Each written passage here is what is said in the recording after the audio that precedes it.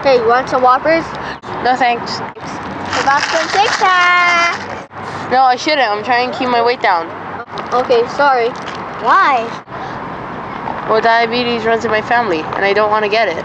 Hey guys, I have two extra apples in my backpack. You want some? Sure.